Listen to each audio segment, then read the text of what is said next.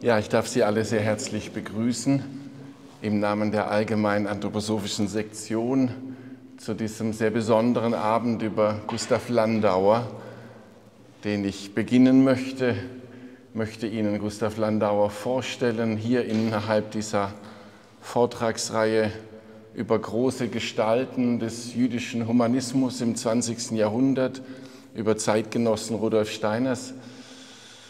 Und Gustav Landauer hier im Goetheanum einmal zu Gast zu haben im Sinne eines solchen Abends ist für manche von uns wirklich ein besonderes Ereignis. Und ich danke Ihnen sehr, dass Sie gekommen sind. Es wird meine Aufgabe sein, in der nächsten knappen Stunde kurz über seine geistige Gestalt zu sprechen, dann länger über seine Lebensarbeit, seine Lebensgeschichte und am Ende noch ein wenig auch zu dieser besonderen Persönlichkeit. Dann werden wir eine kurze Pause machen. Sie haben die Gelegenheit dann vielleicht mit etwas biografischem Grundwissen diese kleine Ausstellung zu betrachten, die uns dankenswerterweise von dem Verlag zur Verfügung gestellt wurde, der die sehr schöne Landauer Ausgabe, eine Taschenbuchausgabe seiner hauptsächlichsten Schriften, Vortragsmanuskripte hergestellt hat. Und dann wird Konstanzer Kalix einen Beitrag unter dem Titel Die Erziehungsfrage als soziale Frage der werdende Mensch, pädagogische Impulse Gustav Landauers und seines geistigen Umkreises darstellen. Also ein paar Worte einleitend, mit wem wir es überhaupt zu tun haben und wie Gustav Landauer auch gesehen wird. Jemand nannte ihn mal einen revolutionären Romantiker, ein anderer sprach von einem jüdischen Messianisten individueller und anarchistischer Prägung. Landauer selbst hätte vielleicht gesagt, schlicht und bescheiden gesagt, er verstehe sich als Sozialist. Und er definierte den Sozialismus als das Bestreben, mit Hilfe eines Ideals eine neue Wirklichkeit zu schaffen. Und schrieb erläutern, nicht das Ideal wird zur Wirklichkeit, aber durch das Ideal, nur durch das Ideal wird in diesen unseren Zeiten eine Wirklichkeit. Es geht nicht darum, Idealisches als Ideal in eine Wirklichkeit einzuprägen, aber es ist eine Orientierung, deren Ausgestaltung eine neue Wirklichkeit stiften kann. Das Ideal, so schrieb er weiter, wendet sich vom Gegenwärtigen ab, es wendet sich dem Neuen zu, es ist Sehnsucht nach der Zukunft, nach dem Besseren, nach dem Unbekannten.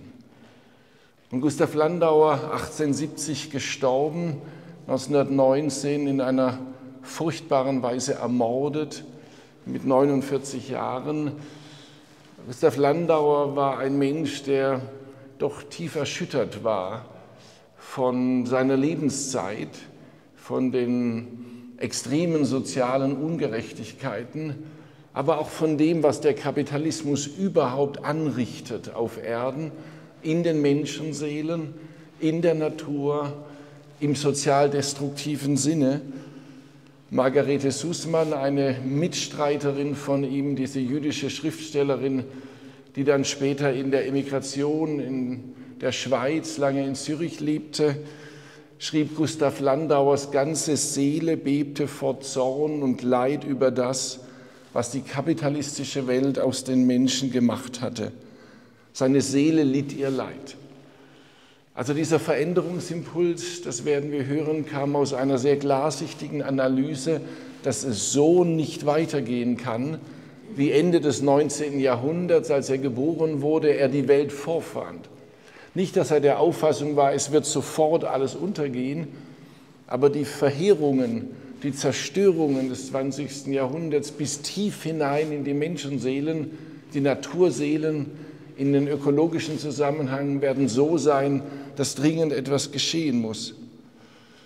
Und er litt nicht nur, er war nicht nur ein Leidender, er war ein Schaffender, ein Mensch, der Sozialformen vorgedacht, aber auch mit ausgestaltet hat, Formen einer neuen freiheitlichen Gesellschaft. Und er war der Auffassung, Menschen müssen üben in neuen Formen der Ökonomie, der Gemeinschaft überhaupt wieder zu leben. Und er suchte Menschenseelen und er fand einige zu seinen Lebzeiten, die sich mit ihm auf den Weg machten. Sozialismus, so schrieb er auch einmal, ist die Willenstendenz geeinter Menschen, um eines neuen Willen, um eines Ideals willen Neues zu schaffen. Also es geht auch vor allem um Menschengemeinschaften, die sich bilden müssten, um etwas zu tun, zu verändern. Was war er noch? Er war ein jüdischer Kulturphilosoph, könnte man sagen, ein Sprachphilosoph, jemand, der durch seine Freundschaft mit Martin Buber und durch seine Liebe und Ehe zu Helene Lachmann, äh, Hedwig Lachmann, Entschuldigung, zu seiner späteren Ehefrau, einer Lyrikerin, die aus einem tiefjüdischen Haus kam und sich auch selber so verstand, er drang erst langsam ein in seinem Leben in die Geheimnisse des Judentums. Er war zwar auch dort geboren, aber es spielte in seinem Elternhaus eigentlich keine große Rolle, wie so oft im assimilierten deutschen Judentum Ende des 19. Jahrhunderts. Es ist ihm immer wichtiger geworden und er sah einen sehr wesentlichen Beitrag des Judentums überhaupt für die Menschheit der Zukunft. Darüber werde ich kurz sprechen. Er war ein dichterischer Mensch, er war ein Poet, das kann man schon so sagen, auch wenn er einmal von sich dann in Selbsterkenntnis schrieb, er sei wohl zu etwas anderem als zum Gestalten, Dichten berufen. Es ging bei ihm eher um die Wirklichkeit, Dichten, das heißt nicht Gestalten gestalten, sondern Gestaltungen neuer Lebensgemeinschaften, überhaupt Erkennen um des Gestalten Willens. Es gab etwas zu tun in dieser Welt und dieser Schriftsteller, der er war, dieser Theaterkritiker, der er war, dieser Literaturwissenschaftler und Literaturkritiker und tiefe Kenner der Musik, er war immer jemand, der eigentlich zu dieser neuen Gestaltung drängte. Ein Augenmensch, aber auch ein Ohrenmensch. Er, sprach einmal davon, wir müssten von der Weltanschauung im 20. Jahrhundert zu einer Form von Weltbehorchung kommen. Auch aus der Raumessprache der Sinneswelt zu einer Zeitensprache zu kommen, die unter anderem sich in der Musik ankündige. Ein tief spiritueller Mensch, das merkt man auch in seinen Literaturbetrachtungen. Er war sehr zu Hause in der Welt von Shakespeare und in vielen anderen Schriftstellern, besonders seine Beziehung zu Goethe und zu Hölderlin.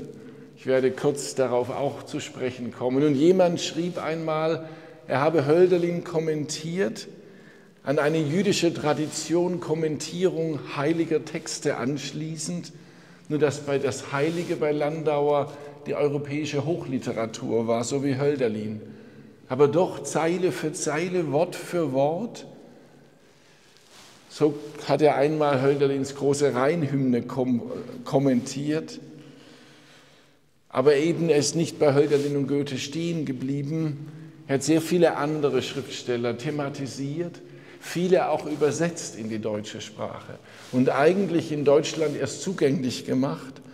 Darunter Menschen auch, die er wichtig fand für die Sozialgestalt der Zukunft, wie diesen ebenfalls sozial, sozialistisch gesinnten Pierre-Joseph Proudhon, aber auch vielleicht besser bekannt Michael Bakunin oder der Russe Peter Kropotkin. Er hat diese Menschen in die deutsche Sprachlandschaft gebracht, aber auch Oscar Wilde lebte auch teilweise, denn er musste immer wieder auch die Familie ernähren. Er war Vater von vier Kindern, drei, eines von ihnen starb früh, aber drei Mädchen wurden groß. Und es war nicht leicht für ihn als Schreibender, im Wesentlichen schreibender und vortragender Mensch, diese Familie zu ernähren, zumal seine Frau eben auch Lyrikerin und Übersetzerin war. Dennoch waren es nicht Auftragsarbeiten, sondern selbstgewählte geistige Ziele genauso wie seine Eckhart, Meister Eckhart Herausgabe. Er ist also der Erste eigentlich doch, der die mystischen Schriften Meister Eckhart aus dem Mittelhochdeutschen, das Neuhochdeutsche übersetzt hat.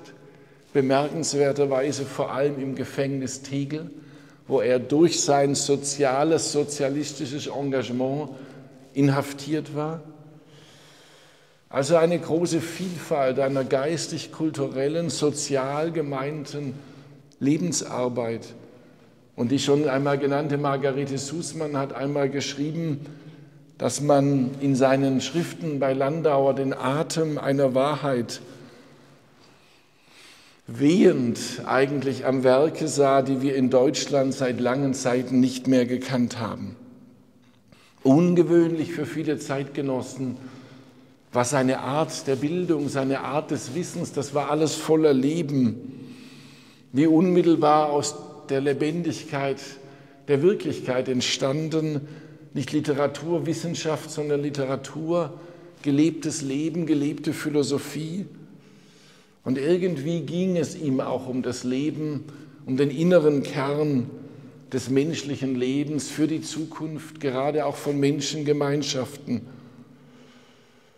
Sussmann schrieb auch, er sei revolutionär gewesen, aber revolutionär sein im Sinne Landauers hieße wohl, die Menschen lieben bis zum letzten Opfer, sie lieben jenseits von Glauben oder Unglauben an sie, denn die Menschen lieben, das heißt, sie erlösen wollen.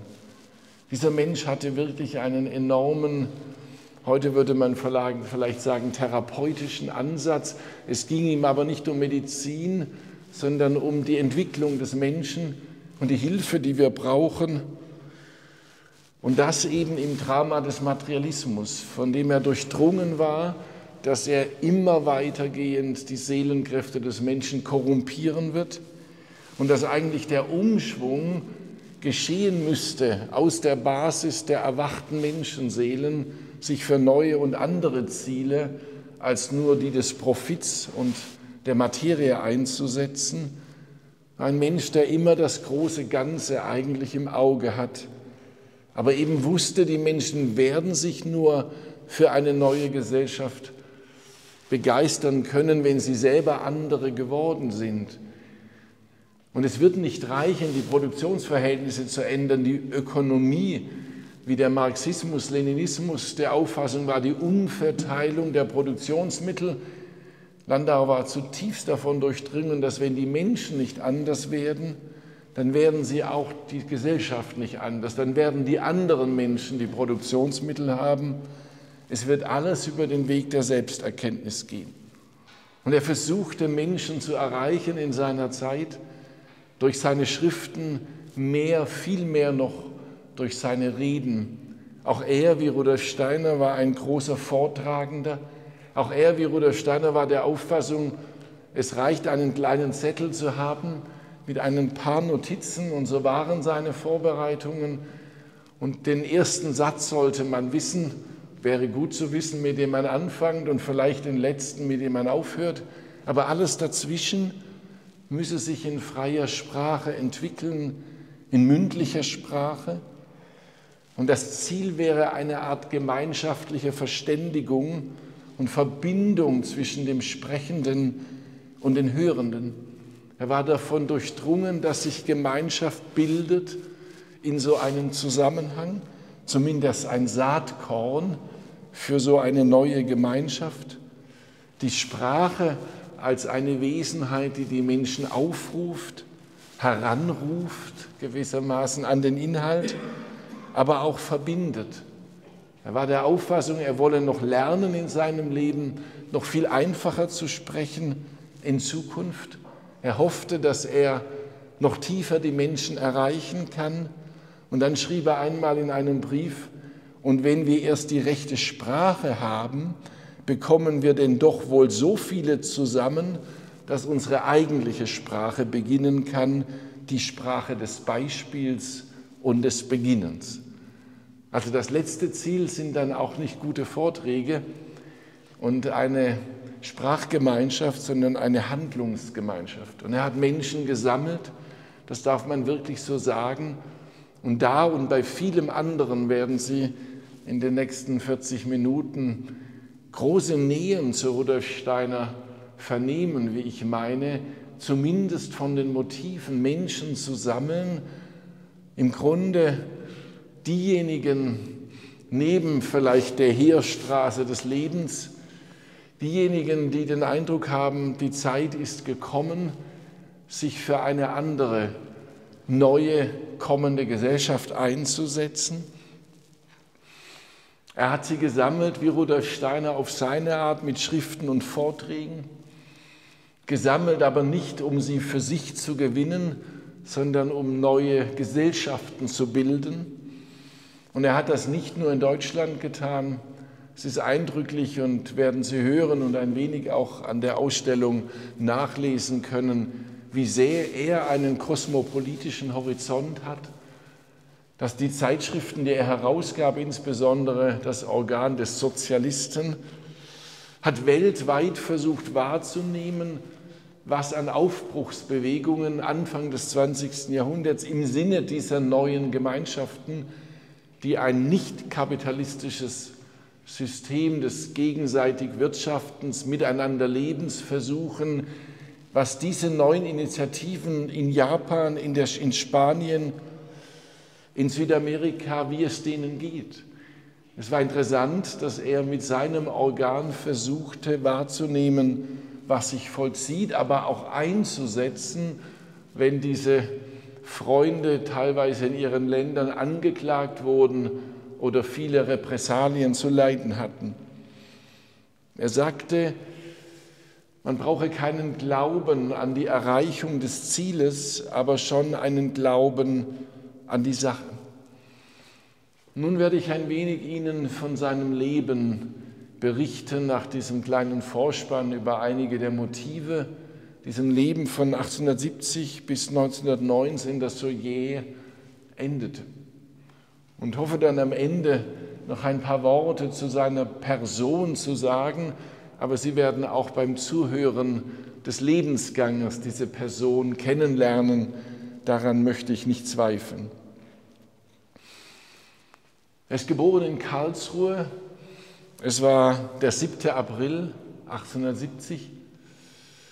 Die Eltern führten dort ein Schuhgeschäft, aber sie kamen nicht von Karlsruhe, sie kamen eigentlich mütterlicherseits aus Oberschwaben, ein geheimnisvoller, interessanter Ort, die ehemals freie Reichsstadt, eine Kleinstadt Bad Buchau am Federsee, wo er groß, wo seine Mutter groß geworden ist immerhin der Ort, wo die zweitgrößte jüdische Gemeinde in ganz Württemberg lebte. Er war ein Cousin von Albert Einstein.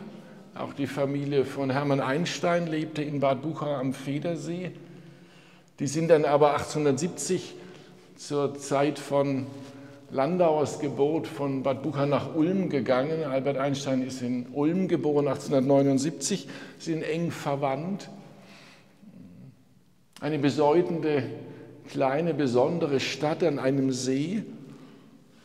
Der Vater ist nicht weit davon groß geworden in Buttenhausen, das ist bei Münsingen, wenn Sie dieses Schwäbisch-Oberschwäbische etwas kennen. Man fährt von Zwiefalten, was ja berühmt ist durch das Kloster, aber auch durch die Psychiatrie, das Lautertal entlang. Und da in diesem wunderschönen engen Tal eine kleine Stadt, wo die Hälfte der Einwohner Juden gewesen sind, dort ist sein Vater her.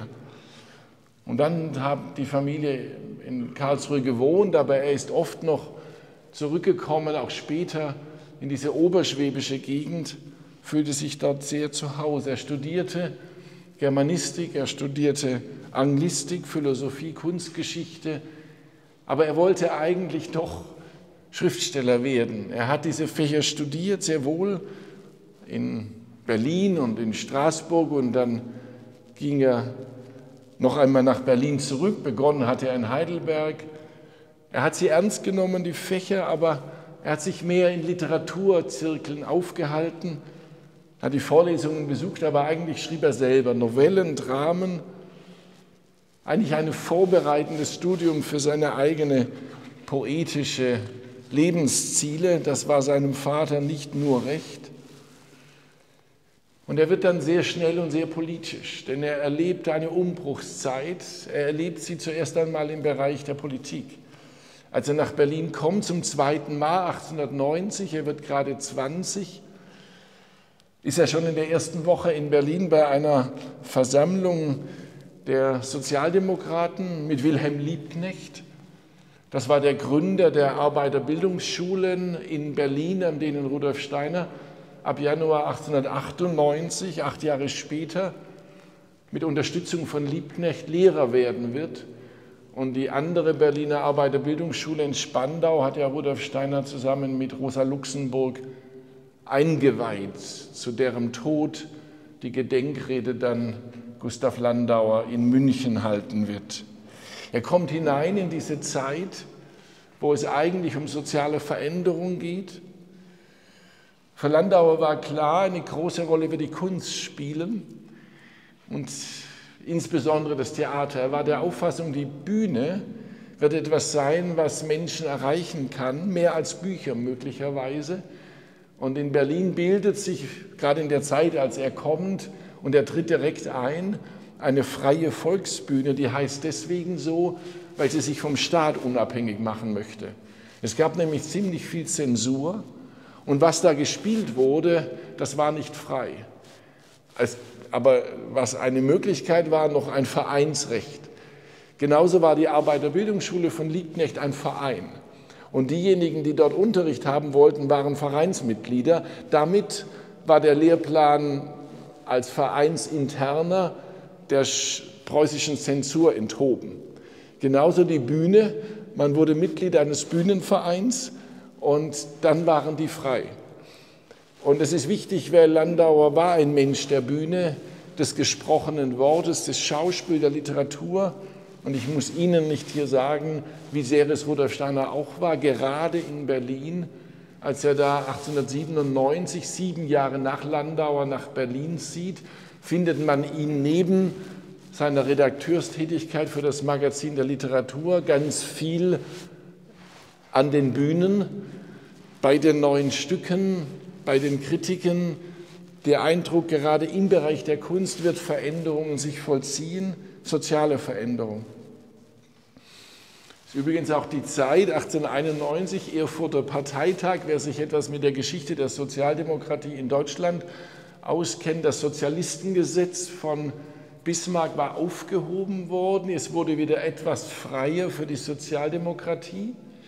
Und auf dem Erfurter Parteitag war eine große Grundsatzdiskussion, wie geht man weiter.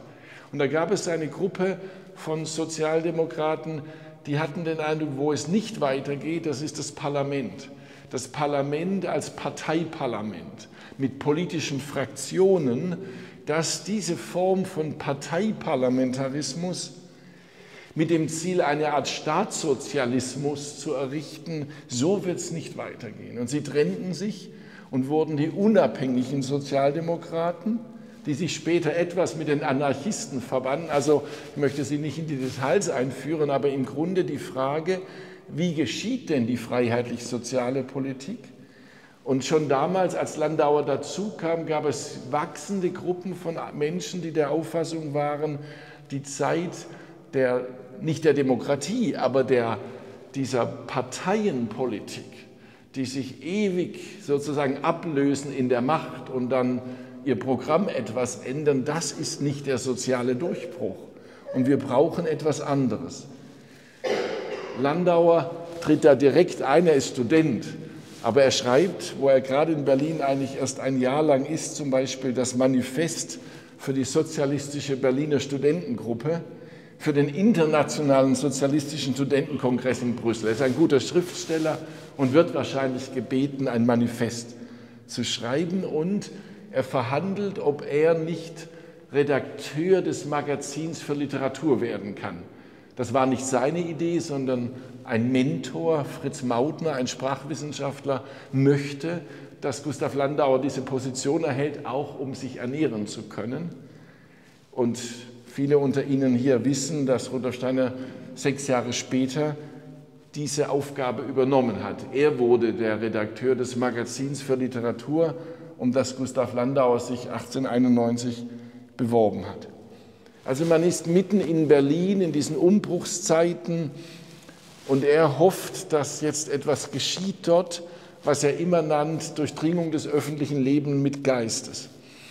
Wir brauchen mehr Geist im öffentlichen Leben, eine neue Form von Sozialität, einen, eine Alternative zu, diesem, zu dieser Industriewelt des Kapitalismus, die zu einer Verödung führen wird menschlicher Beziehungen, zu einer Profitgesellschaft, einer Konsumgesellschaft, einer Technologiegesellschaft. Das ist aber geistlos in der Terminologie von Landauer. Wir müssen neue Formen bilden. Die Polizei wird schon nach anderthalb Jahren in Berlin auf, auf ihn aufmerksam. Sie registriert sorgsam, wer bei den Vereinsversammlungen der unabhängigen Sozialisten dabei ist. Sie beschlagnahmt das neue Organ, der Sozialist. Viele Hefte jedenfalls werden beschlagnahmt, in denen Landauer schon hervorgetreten ist als Schriftsteller, als jemand, der sagt, wir brauchen eine andere Revolution. In einem Brief schreibt er 1892, wir brauchen eine Umwälzung der Geister und die müsse beginnen mit einer systematischen Erziehung von Kindern und Jugendlichen zur geistigen und moralischen Freiheit. Also das Thema, was nach der Pause dann kommt, auch die Bedeutung der Erziehung für eine neue Gesellschaft, hat ihn mit 22 Jahren, knapp 22 Jahren, existenziell beschäftigt. Sein Studium bricht er ab. Im Sommer 1892, ähm, auch noch mit 22, ohne Abschluss, weil er den Eindruck hat, an den Universitäten geht das eh nicht weiter. Diese Wissenschaftsgläubigkeit, diese Autorität der Wissenschaft, das ist nicht sein Weg. Er verfolgt auch kritisch, wie Wissenschaft in der Gesellschaft instrumentalisiert wird. Und er möchte anders weitergehen, freier, unabhängiger. Ein Vortrag von ihm ist nachgewiesen, auch noch 1892 über Max Stirner, einer dieser auch großen Lehrer von Rudolf Steiners zu der damaligen Zeit, der einzige und sein Eigentum, Stirners Hauptwerk. Es wirkt wie ein Lehrbuch des Egoismus, ist es aber nicht, sondern ist eigentlich eine, eine Lehre eines Ichs, das eine tiefe Beziehung zur Gesellschaft neu aufbaut. Da wird er auch von der Polizei registriert, dass er diesen Vortrag hält. Das ist eigentlich die einzige direkte Begegnung aber nur auf literarischer Form Jahre später mit Rudolf Steiner, wo er für einmal in einen Disput eintritt mit Steiner über Stirner oder über den großen Protagonisten von Stirner, John Henry Mackay, ein Engländer, der in Deutschland für Stirner, der längst gestorben war, eintrat, aber sich distanziert vom politischen Anarchismus und damit nichts zu tun haben möchte und Landauer sagt, das ist die Mutlosigkeit dieser Menschen, nicht die Courage zu haben, dann auch wirklich für gesellschaftliche Reform einzutreten. Das ist typisch für jemand wie diesen Mackay und wie Rudolf Steiner, den Herausgeber oder Redakteur des, der Magazin für Literatur, der Mackays Weg unterstützt. Aber das nur am Rande. Er dagegen, Landauer, ist im Visier der Polizei er wird auch schon 1892, falls er sich je sich anders überlegen möchte, mit der Universität ausgeschlossen für immer von allen preußischen Universitäten wegen mangelnder sittlicher Befähigung. So ist die Argumentation damals, wenn jemand sich politisch revolutionär einsetzt, und er war immer ein völlig gewaltloser Mensch, aber er war der Auffassung, es müssen Umbrüche geschehen, dann ist er nicht sittlich für eine preußische Universität tolerabel. Er heiratet bitterarm eine Schneiderin, die sich kennenlernten bei der Volksbühne heimlich in Zürich, weil die Eltern sicher dagegen sind und es in Deutschland, wie er glaubt, nur mit väterlicher Unterstützung geht. Aber nach Zürich gehen sie wieder zurück in die, nach Berlin. Am ehesten kann er da etwas verdienen und er übernimmt dann die Redaktion dieses Organes Sozialist. Ab dann ist er noch enger im Visier der politischen Polizei, wie sie damals schon hieß. Und das hindert ihn aber nicht, immer wieder aufzutreten auf Versammlungen, auch als Delegierter wiederum in Zürich 1893, interessanterweise in der Plattenstraße, wo also später die erste freie Waldorfschule dann in Zürich gegründet wurde, also Steiner Schule, wie es hier heißt. Aber dort war ein Lokal, wo er auf einem internationalen Kongress als 23-Jähriger eine große Rede hält. Die, die Polizei wollte ihn eigentlich schon inhaftieren, bevor er nach Zürich fährt, wegen der Gefahr von Flucht, aber verfolgen dann seine Rede dort und sind der Auffassung, wir lassen ihn erstmal wirken, denn er wird die Sozialdemokratie zersetzen. Also die politische Polizei verspricht sich etwas von diesem sehr begabten Landauer, dass er eigentlich diese Kräfte der Sozialdemokratie schwächt, aber das Netz wird enger und er wird dann 1893 erstmal wird seine Wohnung durchsucht, stundenlang alle Papiere beschlagnahmt, er kommt ins Untersuchungsgefängnis und man entscheidet sich doch gegen ihn vorzugehen wegen einigen Artikeln und er ist immerhin schon einmal elf Monate inhaftiert. Polizei hält ihn für gefährlich aufgrund seiner bedeutenden geistigen und rhetorischen Fähigkeiten. Das steht richtig im Polizeibericht darin. Er nutzt die Haftzeit, um sich intensiv mit Dostoevsky, mit Nietzsche, mit Schopenhauer, mit dem Neuen Testament, aber auch mit der Bauernkriegszeit und Reformationszeit zu beschäftigen. Er schreibt, wir sind im Jahre 1894, als die Philosophie der Freiheit erschien, das Buch Rudolf Steiners. Er schreibt in sein Gefängnistagebuch, es liegt etwas in der Luft, das nach großem und nie dagewesenem duftet. Es will eine neue Zeit beginnen und überall sucht sie sich ihre Künder und Vorläufer. Nehmen wir freudig unseren Beruf auf uns, wir entgehen ihm doch nicht. Wir sind die Künder einer neuen Zeit.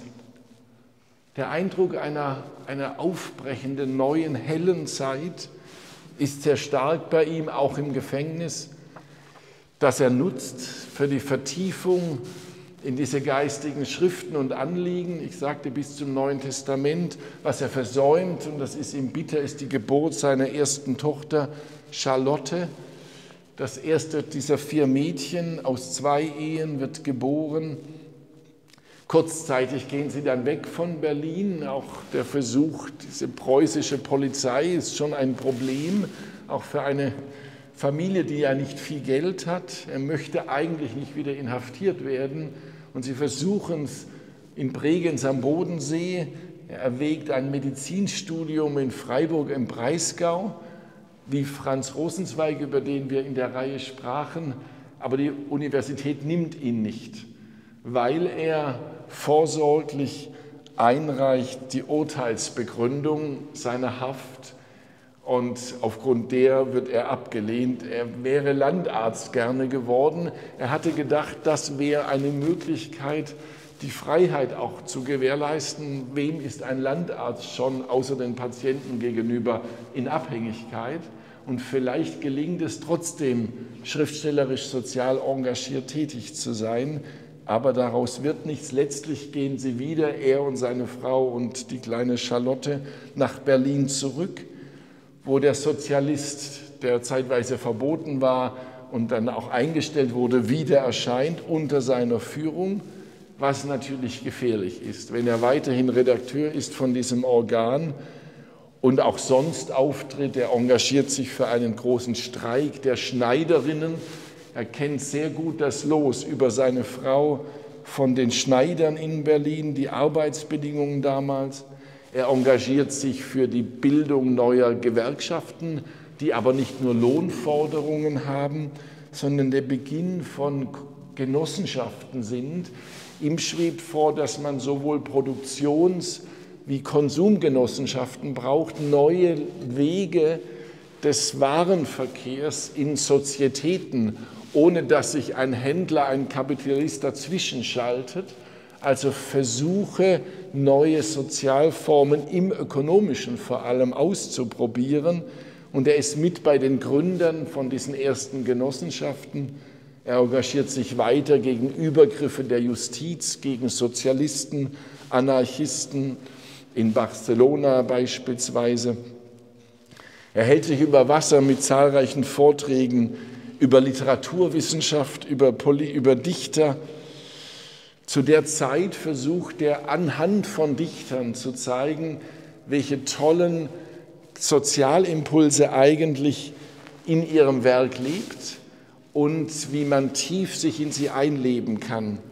In all diesen Vorträgen schreibt er, in denen ich mich so tief wie es mir möglich ist in den Dichter und seine Welt hineinbegebe, ruht im Grunde die Frage nach dem Sinn und der Aufgabe des Lebens.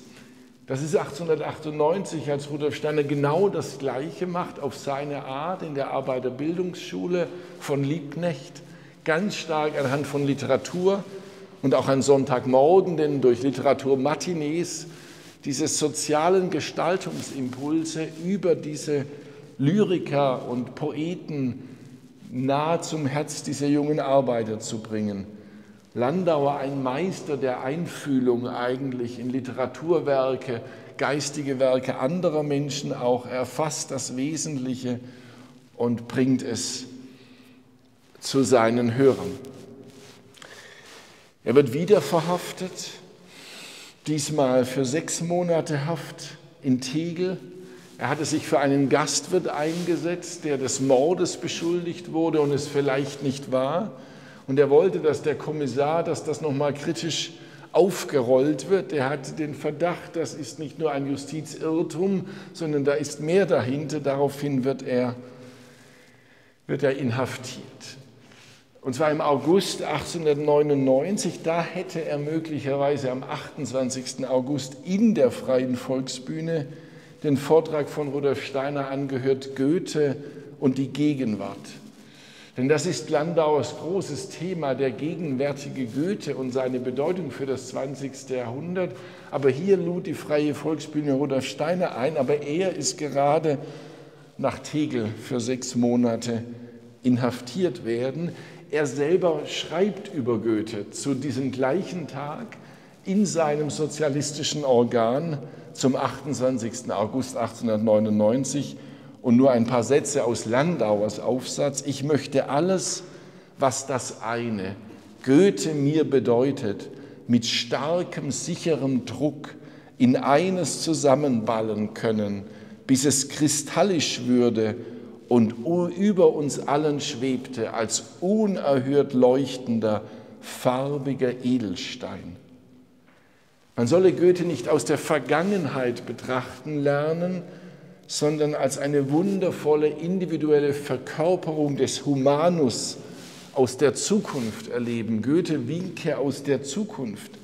Er sei gar kein großer Toter, so schreibt Landauer, sondern ein ewiger Zeitgenosse.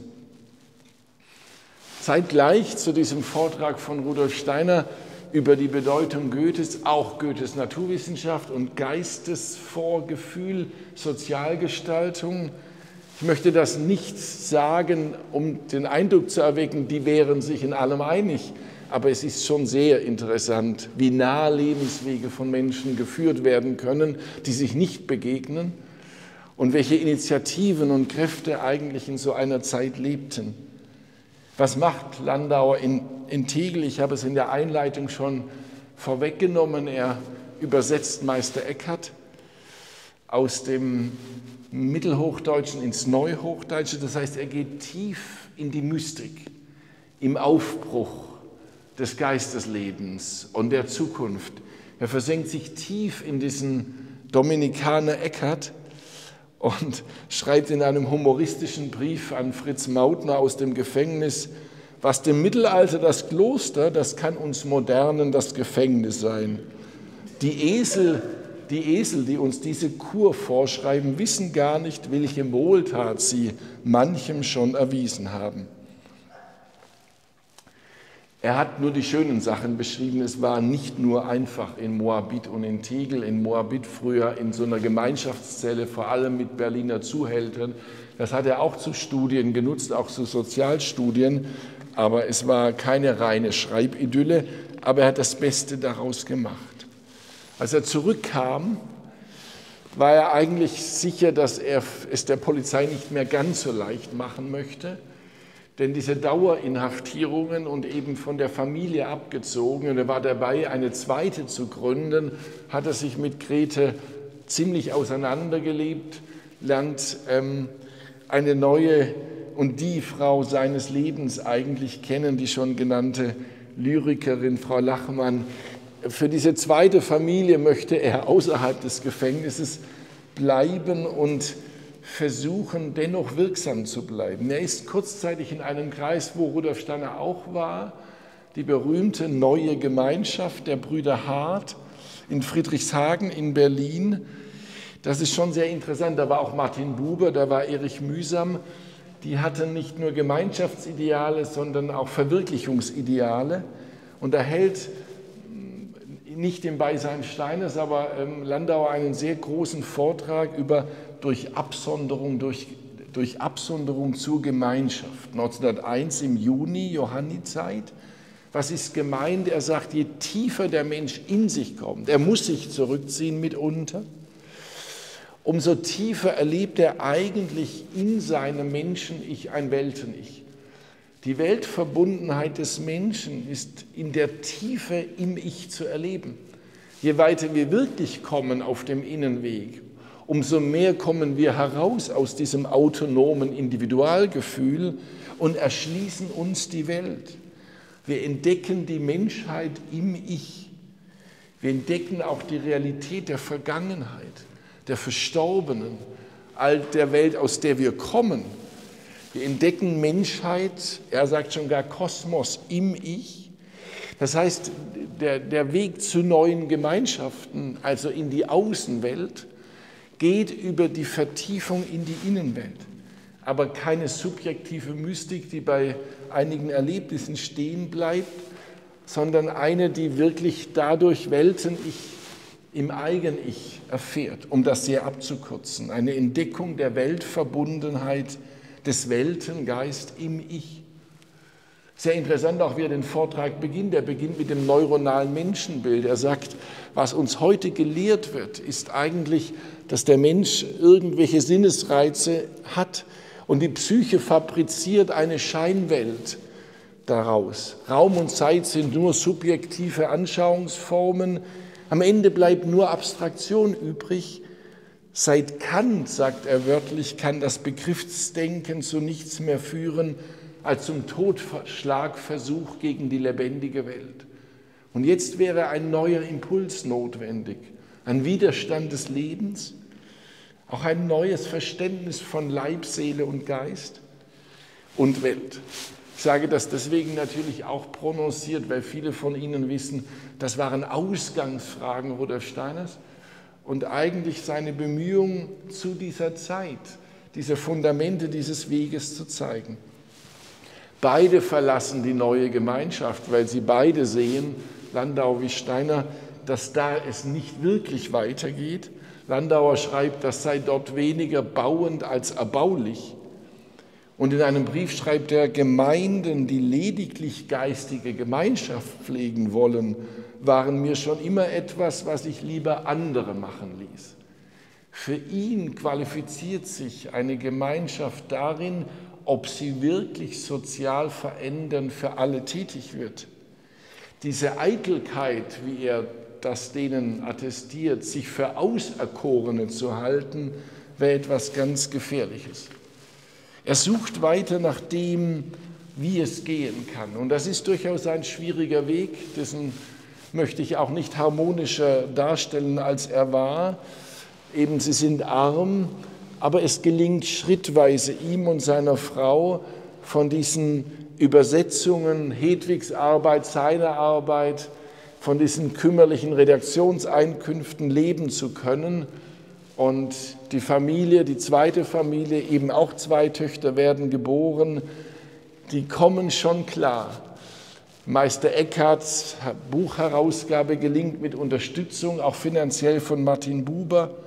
Das ist ein großes Thema, wie er Eckhart wieder als Lebendigen auferstehen lassen möchte, sagt er, im 20. Jahrhundert. Auch die Linie des Neuplatonismus, der eigentlich die Landau verfolgt, über Dionysius, Scotus zur Scholastik und dann zu Eckhart. Auch die Grenzen der Spracherfahrung von Eckhart. Wie drücke ich das aus, was ich geistig erfahre? Auch sein enorm kritisches Potenzial. Eckhart war ja jemand, der, obwohl Dominikaner und Mystiker, sehr ins Gericht ging, er könnte vielleicht schon sagen, gerade weil er Dominikaner und Mystiker war, mit dem scheinbar gesicherten scholastischen Wissen. Er stellt kritische Fragen an die Begriffe der Scholastik, der Theologie. Am Ende wird ein Inquisitionsprozess gegen ihn angestrengt. Er beeilte sich zu sterben, schreibt, ähm, schreibt Landauer. Er hat Eckhart immer als einen kühnen Erschütterer einen welterkennenden Menschen erlebt, der das Ich-Bewusstsein überschritten habe und das Begriffsdenken. Also es ist schon ein enormer Geist für ihn und den er aus einer 3 ediert. Und viele von Ihnen kennen die Mystik im Aufgang des neuzeitlichen Geisteslebens, das Buch, das Rudolf Steiner ähm, veröffentlichte in diesen Jahren, wo Eckhart und diese Dinge eine große Rolle spielen. Er würde gerne weitermachen, Landauer, eine Erkenntniskritik des Mittelalters schreiben, hat aber dann weder die Zeit noch die Finanzierung dafür. Letztlich entscheidet er sich, Buchhändler zeitweise zu werden, um etwas Geld nach Hause zu bringen. Und Erich Mühsam, einer seiner Kollegen in der Münchner Räterepublik, ganz am Ende seines Lebens, schreibt über diese zwei Jahre Buchhandlung, ein paar Jahre lang konnte man diesen welterschütternden Mann Landauer als Verkäufer hinter einem Buchladentisch der Potsdamer Straße sehen. Vielleicht das traurig heiterste Schauspiel der Welt seit den Tagen, da Spinoza Brillen schliff.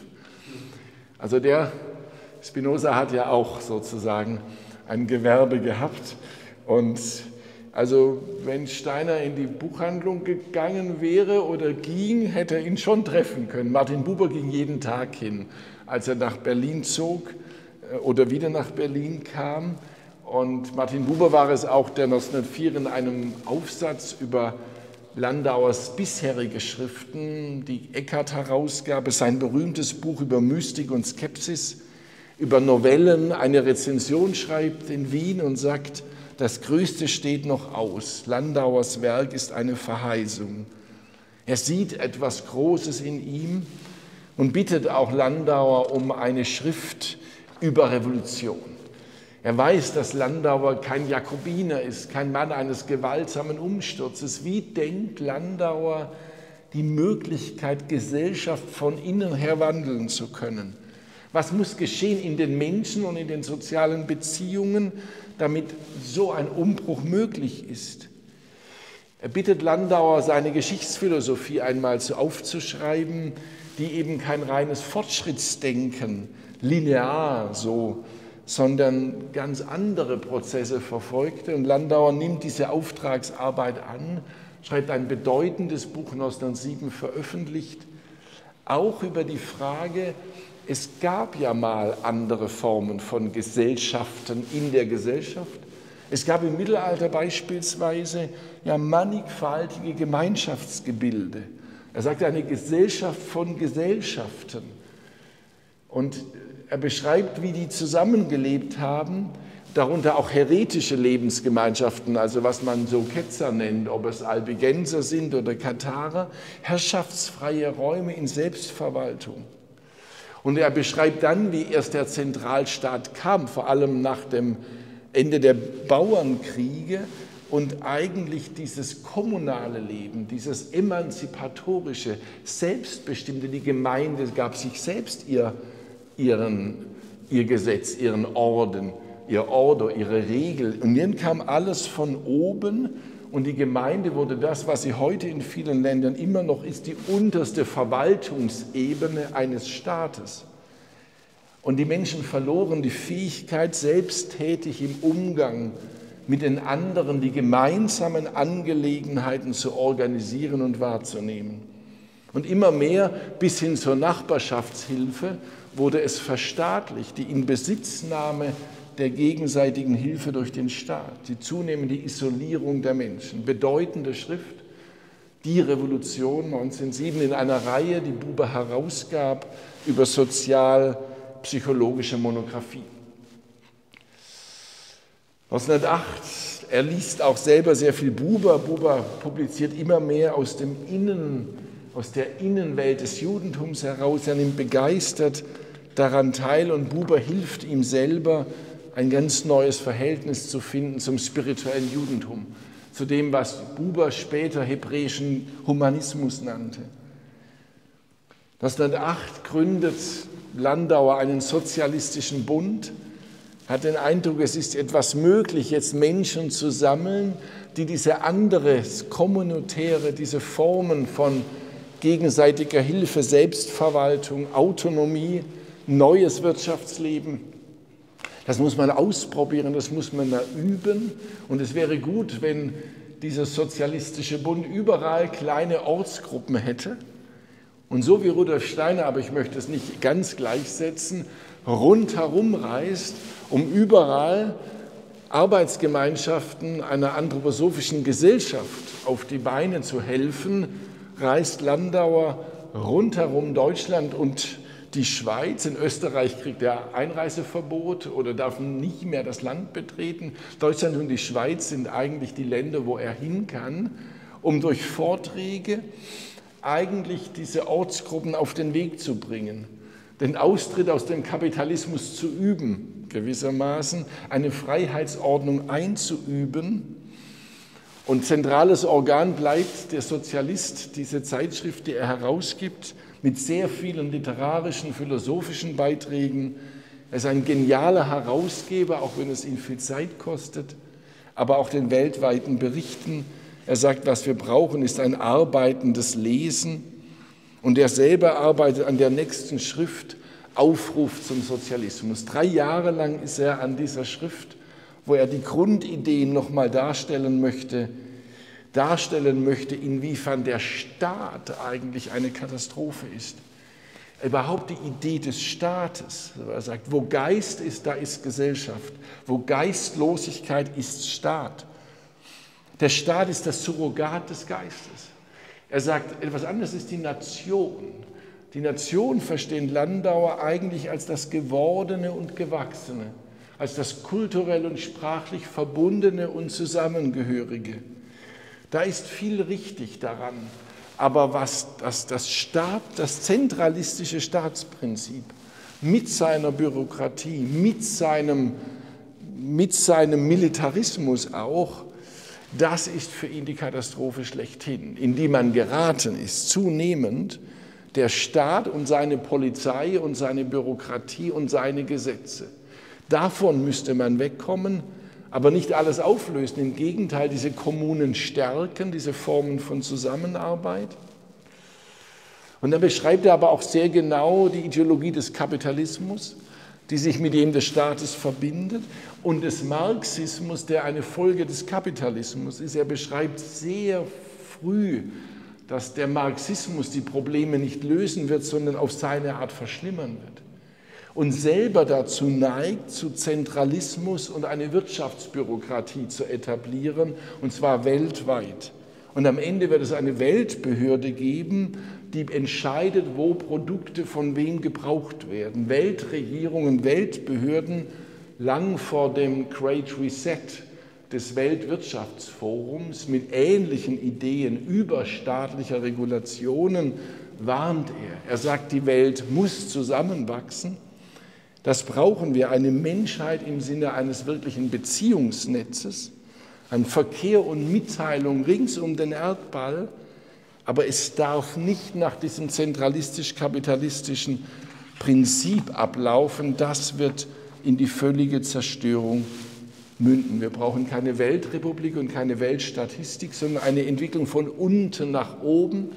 Heute sagt man Graswurzelentwicklung, föderal eine Wiedergeburt der Völker aus dem Geist der Gemeinde. Er meint jetzt keine Kirchengemeinde, sondern eine Gemeinschaft, mannigfaltige Formen kleiner Zugehörigkeiten, anstelle dieser anderen Ideologie, die da herrscht, des unbedingten Wirtschaftswachstums, der Ausbeutung der Natur, der Bodenschätze, der ungebremsten Technologie, dass stattdessen eine Art kommunitärer Selbstverwaltung, und das ist ein langes Thema, aber wie er das beschreibt, das wirkt nicht 100 Jahre alt, möchte ich sagen, wirkt sehr, sehr heutig oder sehr dringend notwendig und für morgen. Es ist, glaube ich, an dieser Stelle nicht mehr die Zeit, auf seine tiefen neuen Aspekte aus dem Judentum einzugehen. Er spricht vor der zionistischen Ortsgruppe West-Berlin über Judentum und Sozialismus. Der Sozialismus ist eben für ihn der verbindende Geist, die Gegenseitigkeit der Menschen auch als Produzent und Konsument. Und er ist der Auffassung, das darf ich schon an dieser Stelle sagen, dass wenn Zionismus heißt, eine neue Gesellschaft formen, wo dieser Geist, dieser neue sozialistische Geist lebt, dann ist es gut. Das interessiert ihn dann, wenn in Palästina oder anderswo, wie er sagt, da etwas Neues in dieser Hinsicht geschieht, wie dann die Kibbutzim. Das findet Landauer hochinteressant. Und er ist, das sagte ich in meiner Einleitung schon, der Auffassung, dass sowieso in dem Judentum etwas ist, was eigentlich für die Menschheit von Bedeutung ist auf den Messias in Verbannung und Zerstreuung zu harren und der Messias der Völker zu sein. Für ihn ist dieses Volk, was keinen Staat hat und am besten nach Landauer auch vielleicht keinen bildet, aber sehr wohl wieder Nation wird, das heißt sich kulturell im Sinne von Buber kulturell zionistisch neu fasst, irgendwie auch ein Vorbild für etwas, was eben gerade nicht Machtgrenzen etabliert, sondern einen Beruf an der Menschheit ausfüllt. Und er warnt immer mehr und von Jahr zu Jahr intensiv vor dem Weltkrieg. Wenn das so weitergeht, diese zentralistischen, kapitalistischen Staaten sich weiter militarisieren, kolonialisieren. Er warnt früh vor diesem deutschen Kolonialwahn und dem der anderen in Afrika, dann kommt das, was kam, was Sie alle kennen, der Erste Weltkrieg. Und für Landauer tief schmerzlich, dass die meisten deutschen Schriftsteller, Literaten, Philosophen alle mitgehen, auch Martin Buber zeitweise angesteckt ist von diesem Kriegspatriotismus. Und Landauer ist vom ersten Tag an mit seiner Frau Hedwig ein radikaler Gegner dieses Kriegsgeschehens aber er sagt nichts, nicht einmal die Feldpost hat in diesem Krieg so glänzlich, kläglich versagt wie der deutsche Geist. Und er beschreibt auch, warum gerade in Deutschland es besonders extrem war. Dieses Obrigkeitstum, dieses Nichtsehen, was für eine Demagogie da eigentlich herrschte. Was macht er im Krieg? Er versucht kurz unter dem Radar der Polizei sich weiter zu betätigen, vor allem über Literatur, über Hölderlin, über Goethe, die krieglose Kultur von Goethe zu vertreten und über Hölderlin dessen Friedensvisionen zu entwickeln. Sowas geht gerade noch. Ich erinnere an Rudolf Steiners Vorträge in dieser Zeit in Berlin, haben einen ähnlichen Gustus, Duktus von der Tiefe der Aussage her. Interessant auch, er ist in der Schweiz wieder Landauer und spricht über das Amt der Schweiz in der Menschheit. Aber jetzt nicht zu sagen, die Schweiz sollte missionarisch sein, sondern sagen, die erste Aufgabe der Schweiz, nicht schon nach außen ein Vorbild behüte, im Innern die Reinigung.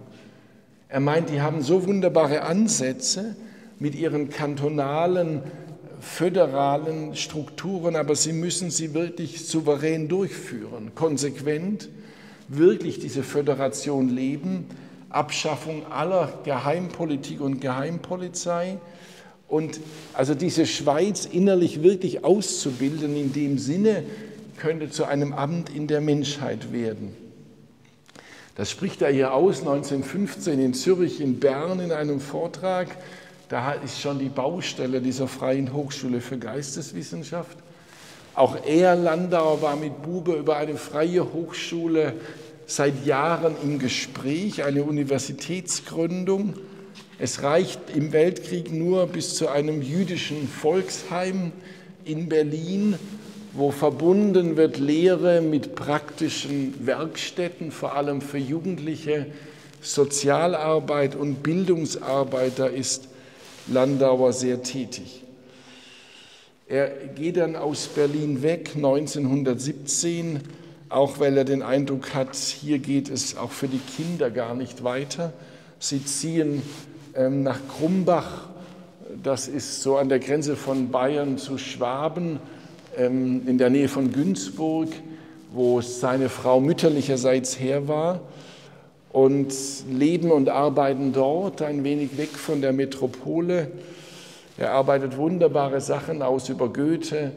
Hölderlin wäre ein großes Thema und ähm, möchte in Düsseldorf, da hat er Beziehungen zum Schauspielhaus, einiges auf die Bühne bringen.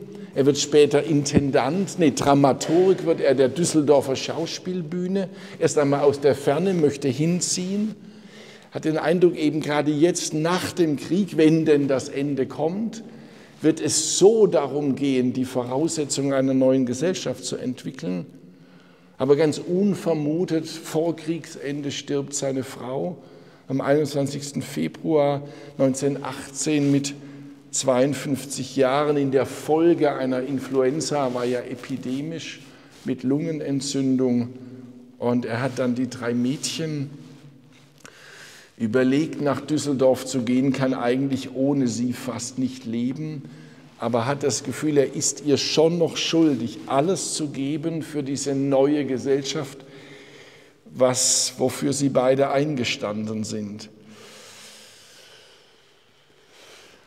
Was dann kommt, ist aber nicht das Düsseldorfer Schauspielhaus, sondern die Revolution. Das ist ja bekannt, im November 1918 bricht in Deutschland Revolution aus, nach dem Kriegsende an vielen Orten gleichzeitig. Und München ist nicht weit. Und es zeigt sich, dass München ein Zentrum wird. Und er schreibt, er könne noch nicht nach Düsseldorf gehen. Ich glaube, es kommt bald der Zeitpunkt, wo ich mein Wort reingeben darf, schreibt er an die Düsseldorfer Intendantin im 4. November 1918. Und dann bricht die Revolution in München aus. Kurt Eisner wird aus dem Gefängnis heraus, wo er achteinhalb Monate war, erster bayerischer Ministerpräsident einer neuen sozialistischen Republik und er bittet Landauer zu kommen, sobald es ihre Gesundheit erlaubt. Er hat auch Influenza. Was ich von Ihnen möchte, schreibt Eisner, ist, dass Sie durch rednerische Betätigung an der Umbildung der Seelen mitarbeiten. Und so, sobald er es schafft, gesundheitlich und seine Kinder halbwegs versorgt hat durch eine Haushälterin, ähm, fährt er immer nach München, immer wieder tageweise zurück und tritt ein in den Zentralarbeiterrat in diese ganze Räterepublik, die da entstehen soll. Und dann kommen dramatische Monate, die ich abkürzen möchte. Es ist ein Kampf, ein Ringen. Wofür ein Landauer steht und ein Eisner steht, ist eigentlich das Rätesystem, für das Rudolsteiner auf seine Art auch so radikal eingetreten ist. Aber andere Kräfte gibt es auch, sozusagen die klassischen Parteien, die sich wieder bald etablieren wollen mit ihrer Form von Parteiparlamentarismus. Es gibt die rechten und die rechtsextremen Kräfte, es gibt die linkskommunistischen Rote Armeekräfte innerhalb von Deutschland und das wird ein ungeheures Ringen. Landauer Eisner wird ermordet auf der Straße erschossen, wenige Tage nach einem Gespräch mit Rudolf Steiner in Bern, ähm, über das Steiner ja sehr beeindruckt ähm, berichtet hat. Eine Katastrophe am, am, am, Todestag, am ersten Todestag seiner Frau, ähm, als, als, als Landauer von München wegfährt zu seinen Kindern wegen dem Todestag, als er aussteigt, dort äh, hört er Landau äh, Eisens auf der Straße erschossen worden. Buber ist auch an dem Tag in München, ist auch nach Hause gefahren, hört es auch. Ist eine Katastrophe, eine ungeheure Tragödie. Und Landauer geht zurück, hält die Todesrede, Bestattungsrede für, für Eisner. 100.000 Menschen auf dem Ostfriedhof in Berlin. Eine unglaubliche Rede aus den Gedichten, aus den Briefen heraus seines Freundes Eisners stellt ihn als einen Propheten dar, mehr oder weniger, ist entschlossen weiterzumachen, obwohl es immer gewaltsamer wird in München, das ist deutlich. Und noch einmal setzen sich die linken Kräfte durch, wird eine zweite Räterepublik, eine wirkliche Räterepublik ausgerufen und Landauer zum Kultusminister gemacht, zuständig für Universitäten, Hochschulen, Schulen, eigentlich sein Ziel An seinem 49. Geburtstag wird er Kultusminister. Und, ähm, aber kurze Zeit später, nach sechs Tagen, setzen sich die Rechten durch. Es kommt ein gegenrevolutionärer Putsch. Und er kann sich noch verstecken bei Frau Eisner in Großhadern. Ähm, war auch nicht bereit gewesen, schon die Tage vorher mit den Kommunisten mitzugehen. Das war nicht seine Welt. Aber er wird denunziert in dem Hause Eisner. Er wird dann ins Münchner Zentrum geholt. Er wird nicht nur verhaftet und verhört, er wird dann in einer furchtbaren Weise an diesem 2. Mai umgebracht, ähm, in einer Brutalität, die ich Ihnen nicht schildern möchte. Mit 49 Jahren und ein paar Wochen mehr endet dieses Leben. Er war sehr davon durchdrungen, dass es richtig ist, alles noch zu versuchen in der revolutionären Zeit. Es waren die, die Wochen und Monate, wo Rudolf Steiner in Stuttgart zur Erschütterung der ganzen Dornacher Gemeinde sich auch hineinstellte, für die soziale Dreigliederung kämpfte, in den Arbeiterhochburgen sprach. Da war es nicht so gewaltsam in Stuttgart, aber es war auch gefährlich. Gesellschaftliche Reform und Landauer ist an diesem 2. Mai dann ermordet worden. Bei der Ermordung von Eisner hat er das Gedicht vorgelesen, die Zeilen von Goethe, die töricht genug ihr volles Herz nicht warten, dem Pöbel ihr Gefühl, ihr Schauen offenbarten, hat man von je gekreuzigt und verbrannt aus dem Divan. Er hat alles reingegeben, er hat es sehr bewusst getan, Gustav Landauer, um in dieser Zeit zu versuchen, das Neue sichtbar zu machen. Letzte Worte für diesen Teil vor der Pause. Ich glaube, Sie haben vernommen die Geschichte eines Menschen, wenn auch nur in Umrissen, der wirklich in Reinheit und Treue gegen sich selbst und seine Idee immer gehandelt hat. Manchmal unterschrieb er auch an einen Freund, dein Getreuer, vor allem aber mein Getreuer, Gustav Landauer also sich selber treu bleiben. Ich gehe meinen Weg als Landauer. Er hatte Selbstbewusstsein, aber er war nicht eitel. Einmal schrieb er, für Eitelkeit habe er zu viel Selbstbewusstsein. Er wusste, was er für eine Aufgabe hat. Ich stehe auf mir. Er war ein Mensch von einer großen Güte, einer großen Mildheit er war eine poetische Seele, sagte er, und einen, an einen Freund schrieb er einmal, ich dichte, lieber Freund, ich dichte an meinem Volk. Also eine Art Poesie der Lebensgestaltung. Das kann man in seinen Briefen noch sehr, sehr stark erleben. Und souverän geistig noch im Tumult der Revolution. Dieses Leben, sagte er einmal, müssen wir ausfüllen mit unserem besten Wesen. Allen Menschen wünsche ich den Frieden, der in mir ist. Wir kennen die Zeit, Zeilen, friedvoll stehe ich zur Welt. Und das ist auch so ein Element bei ihm gewesen. Ein Mensch, der offensichtlich in Frieden lebte, friedvoll zur Welt stand und das inmitten der Gewalt und des Tumultes und für eine andere Welt einstand, wo er immer sagte, sie kann kommen, die Geschichte ist nicht linear und wir müssen leben mit dem Unbekannten, tief begrabenen und Plötzlichen. Auch heute sieht es ja in vielerlei Hinsicht sehr aussichtslos aus. Die Besitzverhältnisse, der Großkapitalismus, die Macht der Technologie, die Staatsgewalt, die Überstaatsgewalt in gewisser Weise aussichtsloser als je zuvor im Hinblick auf Freiheiten von Individuen, kleiner Gemeinschaften, Gesellschaften in der Gesellschaft. Aber gegen Aussichtslosigkeit hat sich Landauer immer verwahrt. Es kann sich ändern und mitunter plötzlich. Und dafür muss man die Vorbereitungen treffen. So blieb er auch inmitten der Münchner Zeit optimistisch lange Zeit und einmal schrieb er aus München, ich glaube, ich bin der einzige Mensch, der bei all dem freudig und ruhig bleibt, mittendrin wie von einem anderen Stern zuzusehen, ist nur einem gegeben, der das alles schon im Voraus längst erlebt und unter sich getreten hat. Eine Antizipation des Vorbereitetseins, vielleicht schon gar noch einen Schritt mehr im Sinne auch des Schicksalshaften, aber ich glaube, er meinte es, ich habe mich so lange damit beschäftigt und auch mit den Kräften, die dann wirken, unter sich treten, heißt jetzt nicht gewaltsam, aber michaelisch unter sich lassen.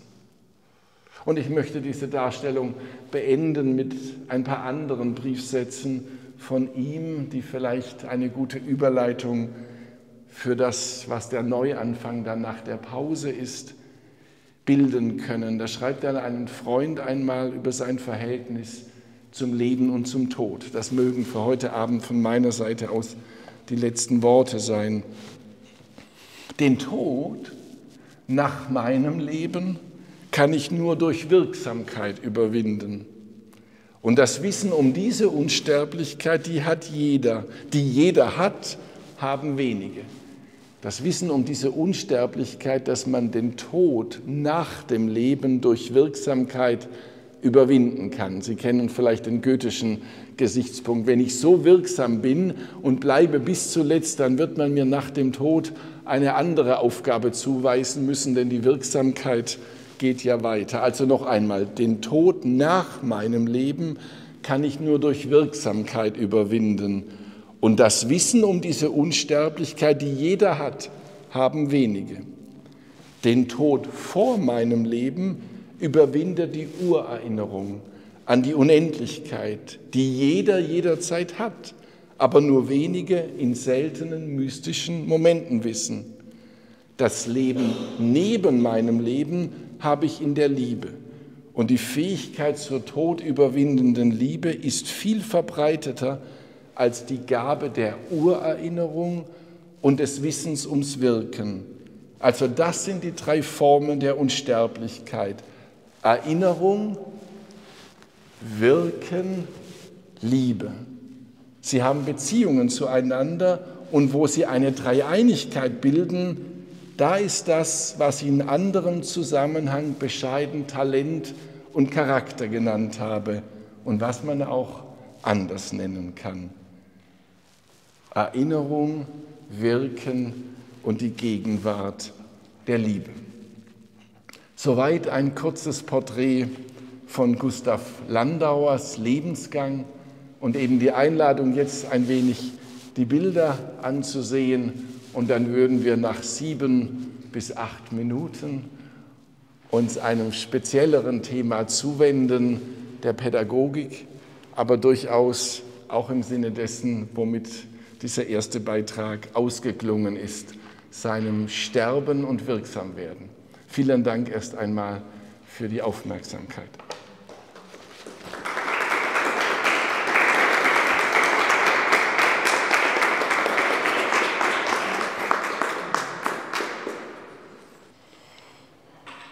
Ja, auch meinerseits ein sehr herzliches Willkommen jetzt für diesen zweiten Teil dieses Abends zu Gustav Landauer und jetzt konnten wir ein Bild bekommen von dieser unwahrscheinlichen Vielfalt und Schaffenskraft eines Menschen, der in einer so kurzen Lebenszeit so vieles eigentlich ermöglicht hat für viele andere Menschen. Und zu diesem Ermöglichen gehört auch sein pädagogisches ähm, Interesse und auch das, was er für die Pädagogik versucht hat äh, zu ermöglichen, zu machen. Und das wird sozusagen der Hauptteil sein meiner Schilderung, aber ich würde gerne damit beginnen, etwas zu, beizutragen zu dem, was Rudolf Steiner über ihn gesagt hat.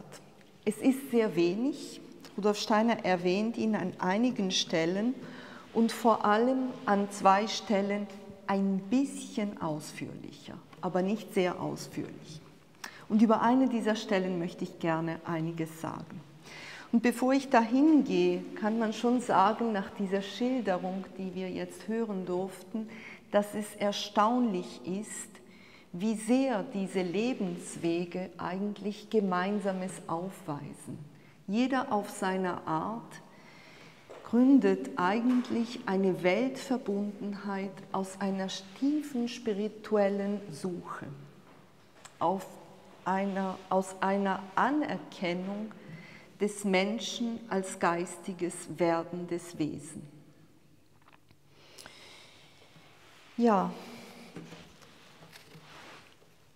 der Freund, der, der große Freund Landauers, Martin Buber, schreibt zu Landauer in seinem Buch Pfade in Utopia, was er im Sinn hat, ist letztlich revolutionäre Auslese der erhaltenswerten, der zum Neubau taugenden Elementen sozialen Seins.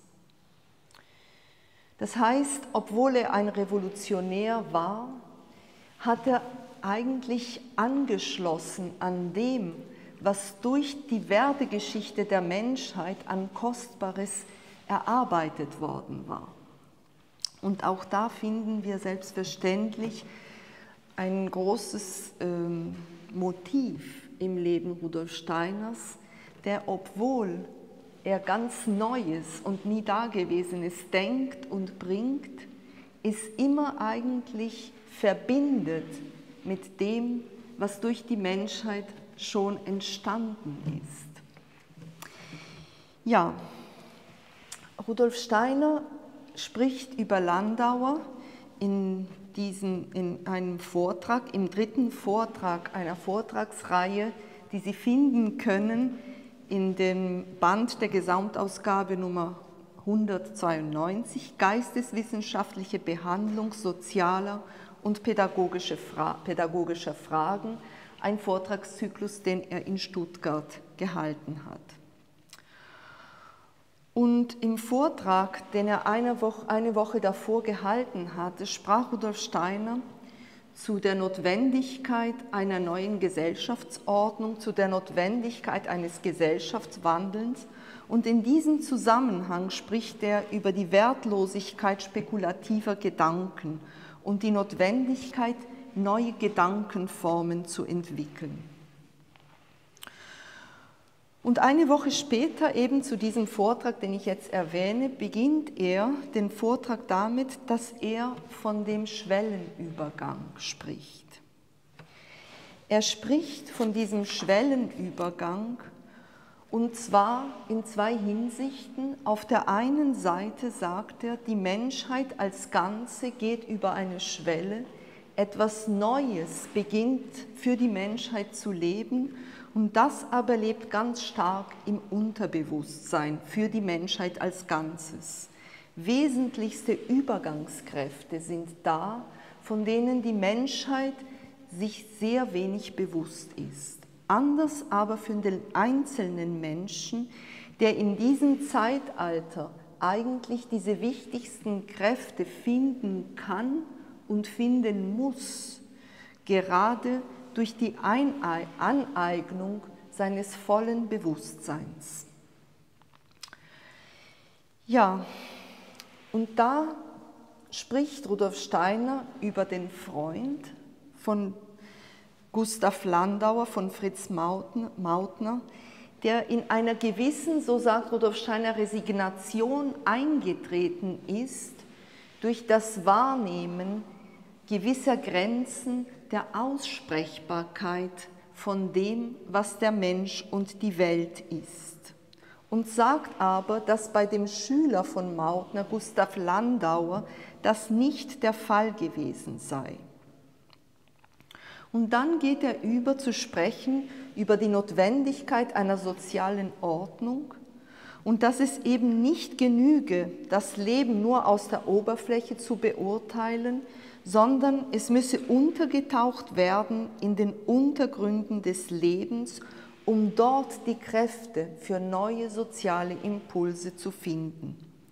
Und spricht hier von der Notwendigkeit einer wahrhaftigen Selbsterkenntnis, die aber nicht entstehen kann, wenn sie nicht verbunden ist mit einer wahrhaftigen Welterkenntnis. Ja, und in diesem Zusammenhang sagt er, es ist notwendig, zu einem Denken zu kommen, zu einem Denken in uns, nicht in bloßen Gedanken, sondern zu einem Denken, das untertaucht in die Dinge und mit den Dingen und Ereignissen der Welt denkt. Ein Denken in uns, nicht in bloßen Gedanken, sondern ein Denken, das untertaucht in die Dinge und dann mit den Dingen und Ereignissen der Welt denkt. Und dann spricht Rudolf Steiner von der Notwendigkeit, sich zu verbinden mit der Welt bis hin zum Atmen mit der Welt in den kosmischen Rhythmen der Welt. Dieses Einatmen und Ausatmen im Leben, das sei ja eigentlich ein Zusammenwachsen mit der Welt in allen ihren unterschiedlichen Rhythmen, in allen ihren unterschiedlichen Zeiten. Und ganz zuletzt spricht dann Rudolf Steiner vom Absterben der bürgerlichen Welt und vom Aufkommen dessen, was sich in der sozialen Bewegung aus der, so Rudolf Steiner, proletarischen Welt entwickelt. Und das sei ein Werden von Zukünftigen. Und dann sagt er, dass das eigentlich gesehen werden kann aus dem Gesichtspunkte des Schwellenübertrittes und dass dort es möglich sei, zu beobachten, was geistig notwendig ist, so dass ein, Willen, so dass ein Willensimpuls für eine soziale Neugestaltung entstehen kann. Ja, dieser Vortrag hält Rudolf Steiner am 1. Mai 1919. Das heißt am Abend bevor dem Tag, wo Gustav Landauer ermordet wird. Und das kann einen sehr erstaunen oder eigentlich sehr erschüttern, wenn man denkt, dass Gustav Landauer tief verbunden ist mit der Idee, dass ein gesellschaftlicher Wandel nur möglich ist durch auch ein Wandel der Pädagogik, durch Erziehung. Und ich werde gleich da einsteigen ein bisschen und davon einiges ähm, erzählen.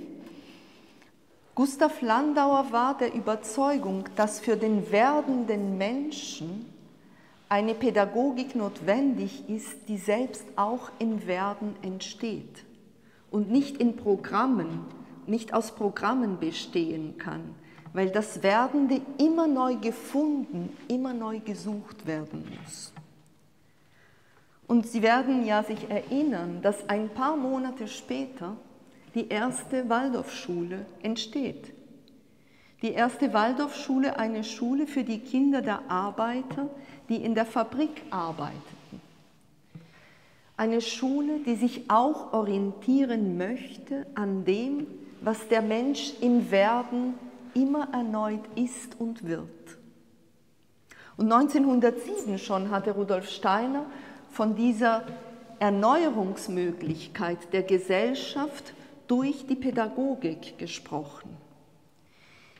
Die pädagogische Frage, die Erziehungsfrage als soziale Frage kann man sagen, ist die Orientierung, ist die Perspektive, aus der viele dieser Menschen, die in dieser Zeit eine neue Gesellschaftsform suchen, eine Gesellschaftsform, in der auch diejenigen Menschen, die in nicht privilegierten Lebensumständen lebten, die auch für diese Menschen ähm, zugänglich sein sollte.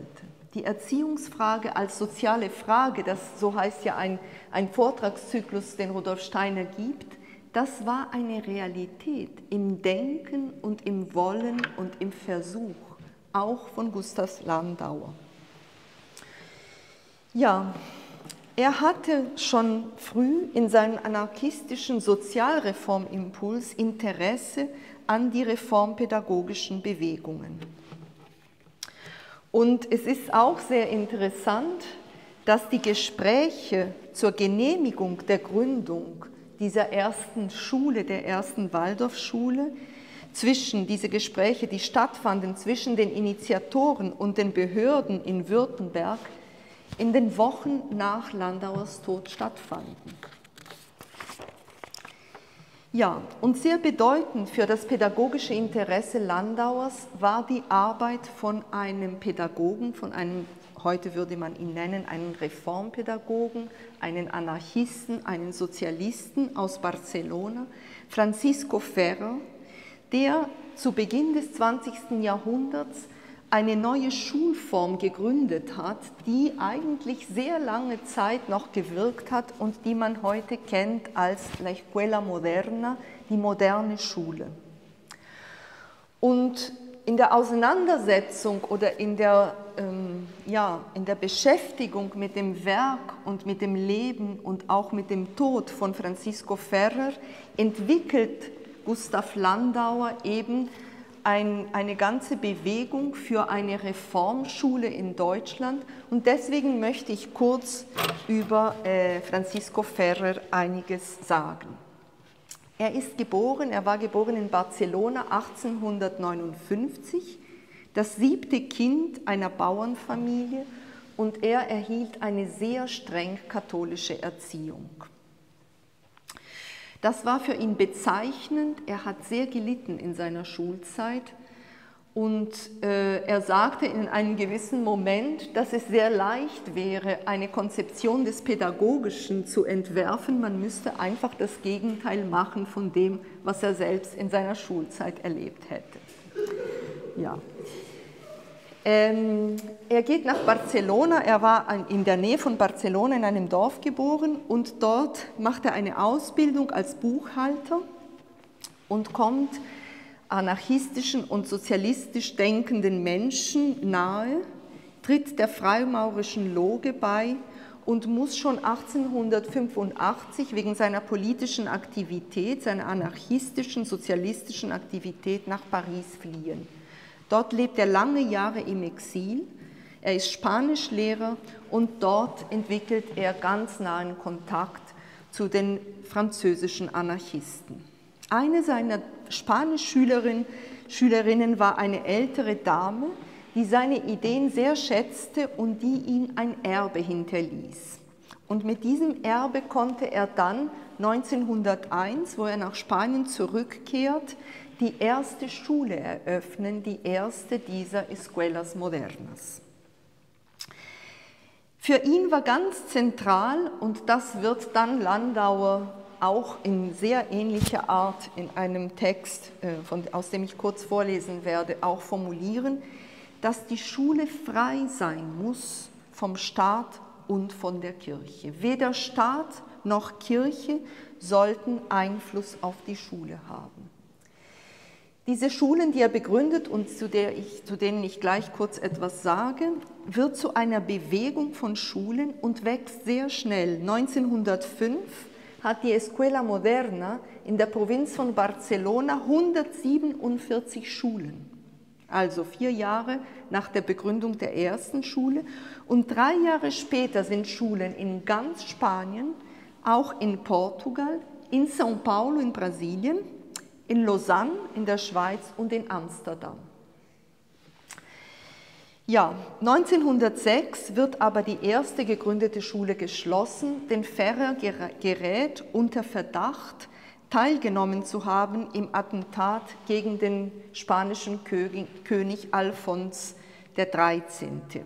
Er wird inhaftiert, verbringt ungefähr ein Jahr in, im Gefängnis und wird dann freigelassen und dann begründet er die Zeitschrift L'École Rénovée und gründet 1908 die Internationale Vereinigung für rationale Erziehung der Kindheit, zu der unter anderen Menschen Bernard Shaw und Maxim Gorki gehörten. Im Sommer 1909 regte sich in Katalonien, aber besonders in Barcelona ein Widerstand gegen die Einberufung von Reservisten für die spanische Militäroperationen in Marokko. Es kommt in, in Barcelona zu einem Generalstreik. Es werden die Regierungstruppen eingesetzt. Es kommt zu, einem, zu, zu heftigen Schlachten in der Stadt, großer Widerstand. Und Ferrer wird im Rahmen dieses Aufstandes verhaftet und von einem Militärgericht zu Tode verurteilt. Er wird am 13. Oktober 1909 hingerichtet. Und bevor er im Stehen erschossen wird, richtet er einen Gruß an seine Schule und sagt, ich bin unschuldig, es lebe die moderne Schule. In sehr vielen europäischen Städten fanden große Demonstrationen vor den spanischen Botschaften statt und angeblich, das kann man in Zeitungen nachlesen, jedenfalls steht es so in Zeitungen, versammelten sich am 17. Oktober, also vier Tage später, in einer Demonstration in Paris 100.000 Menschen. Und auch in Berlin gab es ganz große Proteste. In Deutschland untersucht die Polizei auf Anweisung des Innenministers die Verbindungen dieser von Ferrer gegründeten Internationalen Liga für Volksbildung. Und es gab tatsächlich eine Zeit, eine kurze Zeit, eine deutsche Sektion dieser Internationalen Liga und sie wurde interessanterweise von Ernst Heckel geleitet. Erstmal war Landauer eingeladen worden, sie zu leiten, aber er sagte, er könne diesen Vorsitz jetzt nicht äh, annehmen, weil er bereits die Idee der sozialistischen Liga eigentlich in sich hatte und er möchte sich ihr ganz widmen. Ja, Landauer war ähm, sehr wahrscheinlich schon zu Beginn der, also zur Zeit der Jahrhundertwende ähm, in Kontakt getreten zu Ferrer, zu, zu Francisco Ferrer durch einen gemeinsamen Bekannten. Und nach Ferrers Tod befasste er sich mit der Zeitschrift L'École Rénovée und wird eigentlich Artikel schreiben in seiner Zeitschrift und in Verbindung zu Artikeln, die in dieser Zeitschrift von Ferré erschienen waren. Ähm, nach dem Tode von Ferré erscheint sein Buch Die moderne Schule, wo sein Erziehungsziel beschrieben wird. Und ich lese kurz vor aus diesem Buch. Die Aufgabe der modernen Schule ist es, dafür zu sorgen, dass die ihr anvertrauten Kindern gut, wahrhaftig, gerecht und frei von allen Vorurteilen erzogen werden. Zu diesem Zweck wird sie das dogmatische Studium durch ein begründetes Studium der Naturwissenschaften ersetzen. Das dogmatische meint hier das kirchliche. Sie wird die Fähigkeiten eines jeden Schülers anregen, entwickeln und lenken, so, so dass er mit der Gesamtheit seines individuellen Wertes nicht nur ein wertvolles Mitglied der Gesellschaft sein wird, sondern infolgedessen auch den Wert der Gemeinschaft erhöhen kann. Sie soll wahre soziale Pflichten lehren, gemäß der gerechten Maxime, es gibt keine Pflichten ohne Rechte, es gibt keine Rechte ohne Pflichten. Den Lehrern sagte er, sei du ein Mensch, da du Menschen schaffen sollst. Und es ist sehr interessant, es waren private Schulen und sie gingen so mit den Schulgeldern um, dass jede Familie das bezahlte, was sie bezahlen konnte. Und diese Schulen konnten so bestehen. Wie gesagt, es waren hunderte von Schulen in ganz Spanien, die auf diese, sage ich mal, ähm, ganz neuen ökonomischen Basis ermöglicht wurden. Ja, im November 1909, also wenige Monate, also ja, ein Monat eigentlich nach Ferrers äh, ähm, Tod, ähm, wird in einer Versammlung innerhalb des Sozialistischen Bundes die Gruppe Gemeinschaft gegründet und Landauer schreibt an Buber, die Gruppe Gemeinschaft hat nun endlich eine Aufgabe bekommen. Wir haben letzten Dienstag recht vernünftig und ersprießlich über die freien Schulen und die Möglichkeit ihrer Begründung in Deutschland gesprochen. Und Mitte Januar 1910 das heißt drei Monate später, schreibt Landauer einen Aufruf zu freie, zur Gründung freier Schulen. Er sagt, es sollen Privatschulen für das Volk gegründet werden, Schulen, in denen, in denen keine Einmischung des Staates oder der Kirche sein darf. Und in diesem Aufruf steht, fort mit der Einmischung des Staates und der Kirche in unseren Schulen, Freiheit der Schule, Selbstbestimmung der zu Schulgemeinden vereinigten Eltern über ihre Kinder.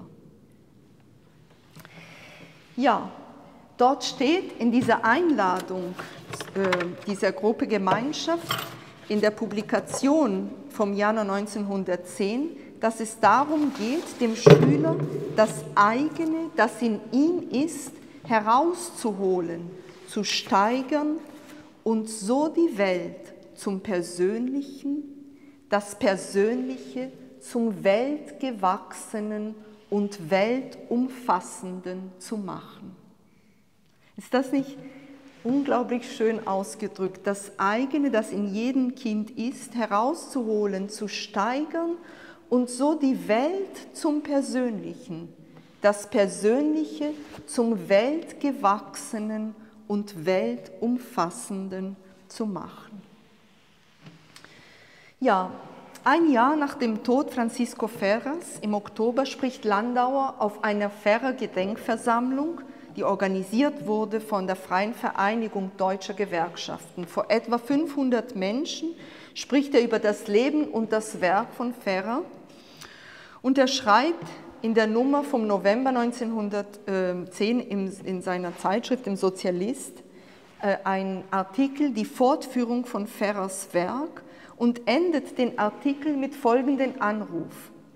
Ans Werk also, was ich dabei tun kann, neben dem vielen, was mir keiner abnehmen wird, das soll geschehen. Ans Werk auch die anderen, alle, ihr Freunde, alle. Nicht die anderen Leser rufe ich, dich, mein Leser, eben dich. Blick auf und besinne dich, bis es dir aus dem Kopf in die Hand fährt und dann leg Hand an. Ja, er spricht sehr dezidiert in den kommenden Monaten und bis 1911 über die Notwendigkeit freier, freier Schulen in Deutschland. Er denkt sogar daran, einen Propagandaverein zur Gründung freier Schulen in Deutschland zu bilden und sagt, es bräuchte 100 Männer wie Ferrer, die den Menschen die Wahrheit verkünden. Sehr interessant ist, das ist die Schätzung des Beamten der politischen Polizei zu der Zeit. Ich lese vor, was, die Poliz was dieser Beamte schreibt. Ich halte diese zielbewusste und von hohem Idealismus und der unleugbaren Intelligenz Landauers getragene Agitation, wie der Landauer ganz systematisch vorgeht, für viel gefährlicher als die ganze andere anarchistische Propaganda – weil sie sich eben der Jugend bemächtigen und in ihrem zusagenden Sinne erziehen will. Ja. Leider war es so, und das schreibt auch Landauer, dass von den Genossenschaften und Gewerkschaften nicht genügend Interesse da war und so entwickelte sich dieses Vorhaben der Gründung vieler neuen freien Schulen in Deutschland erstmal in dieser Form nicht weiter. Dass die Erziehung ein Schlüssel für die gesellschaftliche Verwandlung war, das war natürlich vielen Menschen klar. Auch vielen Anarchisten und Revolutionären, auch nicht zuletzt zum Beispiel Lev Tolstoi, den Land, der für Landauer ganz, ganz wichtig war. Und das Interessenpädagogik, den Landauer entwickelt, ist einerseits so zu verstehen als Grundmöglichkeit für eine gesellschaftliche Verwandlung aber andererseits ist dieses pädagogische Interesse ganz tief verankert in der Konzeption, in dem Bild, in der Vision, die Landauer vom Menschen hat, die Landauer vom, Welt, vom Mensch als Werdender hat. Und ich möchte kurz zu diesem Bild des Mensch als Werdender, wie Landauer ihn ganz unterschiedlich und vielfältig beschreibt, ein bisschen versuchen zu skizzieren. Er schreibt in Skepsis und Mystik dieses Werk, von dem wir schon hörten, die Welt will, will, Entschuldigung, die Welt will werden. Sie will Mensch werden. Sie will alles werden. Und er schreibt in einem Brief an einen Freund 1903, der Materialismus hat nie so strotzende Triumphe gehabt wie jetzt und in nächster Zukunft. Die Sinne sind nie mächtiger gewesen in dem, was sie zur Welterkenntnis beitragen können. Es ist eine Lust, Skeptiker und Umdeuter zu sein, aber das ist mir viel zu wenig, bloß um das Lebenswillens zu erkennen. Ich will um des Gestaltenwillens erkennen. Das Leben ist ein Mittel zur Erfassung und Gestaltung der Welt, so wie das Fernrohr ein Mittel ist, Welten ins Auge zu fassen. Für ihn war es ein großes Vorbild, wie wir schon hörten im ersten Teil dieser Betrachtung zu Landauer, die Gemeinschaftsbildung, die im Mittelalter an vielen Orten gepflegt war. Und er entwickelt die Idee einer Mystik, die nicht weltentfremdend ist, sondern und die nicht zu einer Askese oder sich einer Magie zuwendet, sondern die, bis, sondern die das Denken bis an die Erfahrungsgrenzen führt, dort, wie er sagt, wo Unaussprechbarkeit und Einheitserfahrung im Lebensstrom sich ereignen kann. Für ihn sind Individuum und Welt nicht zu trennen. Es gibt kein Individuum ohne Welt. Und im ersten Teil von Skepsis und Mystik unter dem Titel Das Individuum als Welt schreibt Landauer, der Weg, den wir gehen müssen, um zur Gemeinschaft mit der Welt zu kommen, führt nicht nach außen, sondern nach innen. Es muss uns endlich wieder einfallen, dass wir ja nicht bloß Stücke der Welt wahrnehmen, sondern dass wir selbst ein Stück Welt sind.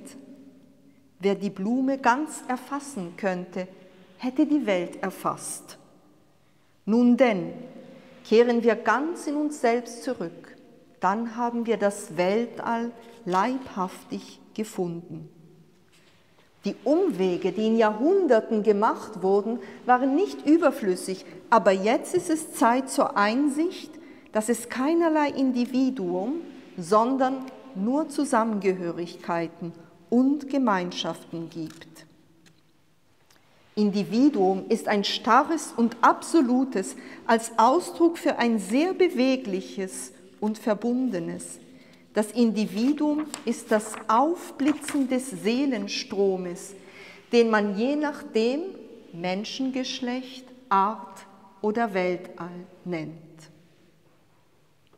Alles, sagt er, ist miteinander verwachsen und verwoben. Und so bin ich wirklich sagt er, die ganze Welt.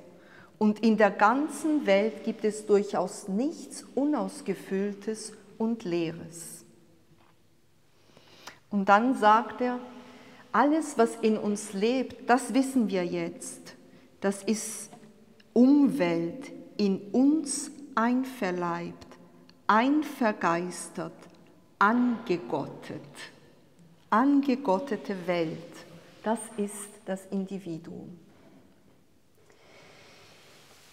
Ja, er sucht diese Möglichkeit, dass der Mensch das erfüllen kann, das erleben kann. Das, und so schreibt er, das Gewordene, das Werdende, der Mikrokosmos, der Makrokosmos, das Individuum, das Volk, der Geist, die Gemeinschaft, die Idee, der Bund ist. Und dieses Bild eines werdenden Menschen, eines Individuum der Welt, einer Welt, die im Menschen lebt, diese Verbundenheit als grundsätzliche Konstitution des Menschlichen und der Welt ist für Landauer eine Realität bis in alle Lebenssphären hinein. Es ist nicht, wie wir schon hörten, auch im ersten Teil, ein Zurückziehen aus der Welt, sondern eine Hinwendung zur Welt hin.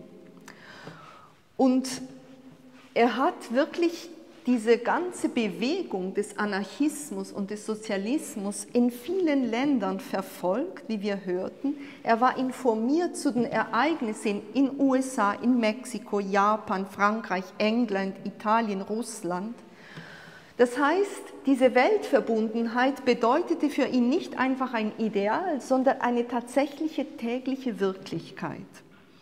Und er sah, wie wir schon auch hörten, in dieser Form einer Globalisierung, die eigentlich durch die Wirtschaft erzeugt wird, eine un unfassbar große Gefahr.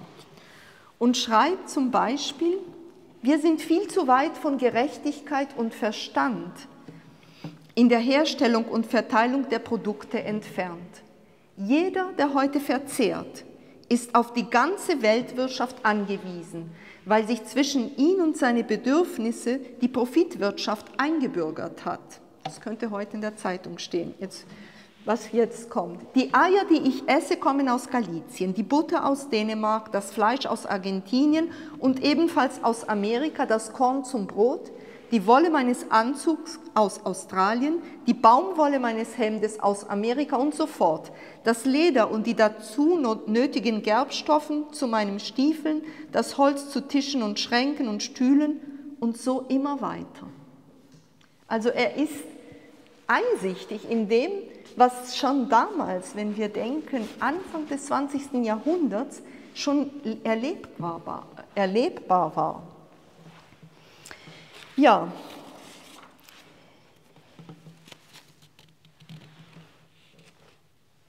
Er schrieb einfach noch, und damit werde ich zum Ende gehen, zwei Tage nach dem Tod von Francisco, von Francisco Ferrer am 15. Oktober in seiner Zeitschrift im Sozialisten. Zwei Staaten sind es, in deren innere Angelegenheiten sich die Völker übrigen des übrigen Europa immer besonders eindringlich mit Rufen der Empörung und des Protestes einmischen müssen. Russland im Osten und Spanien im Westen. Also man muss sich einmischen, Russland im Osten und Spanien im Westen. Und da beschreibt er eben, dass Ferrer gefangen genommen ist. Er schreibt, er ist im Zuchthaus gesteckt worden, er ist zwischen Leben und Tod. Er hat die große Bewegung zur Gründung von Schulen ins Leben gerufen, zur Gründung privater, weltlicher Schulen für die Kinder des Volkes, damit das Volk die Tatsachen der Natur und des Geistes kennenlernt. Ehe es zu spät ist, wollen auch wir noch das wenige tun, was uns zu tun übrig bleibt und uns den Worten dem Protest Europas anschließen und zum Proteste auffordern. Und indem er das schreibt, erfährt er, was passiert ist und schreibt, zum Protestieren ist es zu spät. Francisco Ferrer ist am Morgen des Mittwoch des 13. Oktober 1909 standesrechtlich ermordet worden. Ich möchte gerne abschließen mit, einem, mit einer kurzen, kurzen Passage aus dem Buch Der werdende Mensch. Der werdende Mensch, so heißt das Buch, das nach seinem Tod und nach seinem letztwilligen Auftrag Martin Buber herausgegeben hat, eine Zusammenstellung unterschiedlicher Texte. Und der erste Text, ein Kapitel zur damals geplanten erweiterten Ausgabe von Skepsis und Mystik heißt Die Musik der Welt. Und sie hat er 1905 geschrieben. Landauer schreibt, dass die Musik die beste Sprache des Menschen ist und die Sprache, die ausdrücken kann, die sich durchdringenden Welten, die Welten, die im Werden, in immer fortwährenden Entstehen sich befinden. Und aus diesem Text möchte ich gerne abschließend einige Zeilen vorlesen.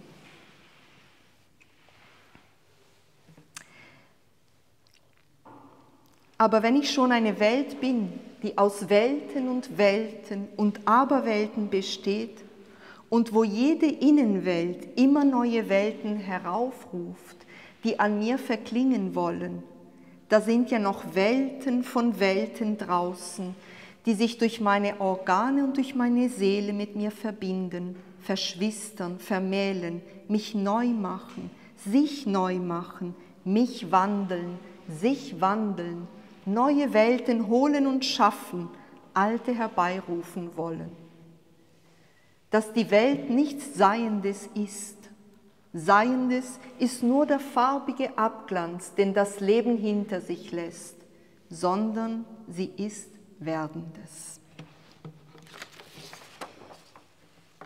Ja, ich möchte einen herzlichen Dank aussprechen im Namen der Allgemeinen Anthroposophischen Sektion für Ihr Dabeisein in diesem Abend, den wir Landauer widmen wollten. Und wir hoffen, dass diese Persönlichkeit, die so tief verbunden ist mit diesen großen Ermöglichungen einer Weltveränderung, hier ein bisschen präsent sein konnte durch diese Schilderung. Wir freuen uns als Sektion selbstverständlich für Ihre Unterstützung, wenn Sie möchten, und wünschen einen sehr, sehr schönen Abend, eine gute Nacht und ein gutes Nachhausekommen. Vielen Dank.